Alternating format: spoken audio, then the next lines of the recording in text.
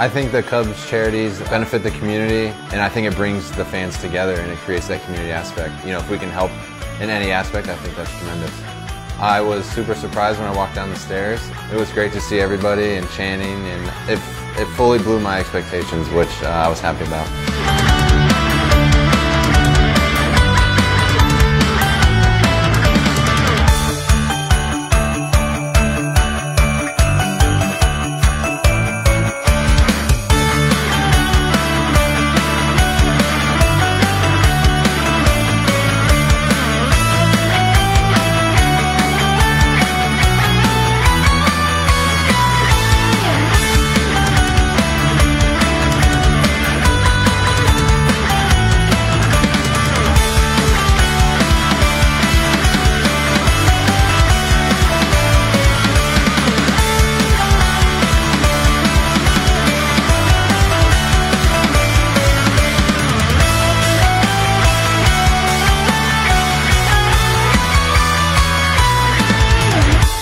Club 400 has done so much to help so many people, and I'm honored, truly honored to be a part of it.